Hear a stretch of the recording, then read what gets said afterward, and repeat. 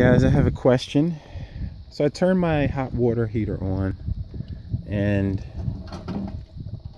I do not know why it leaks like this. Um, that doesn't look good. That can't be helpful. Uh, why? Is that leaking?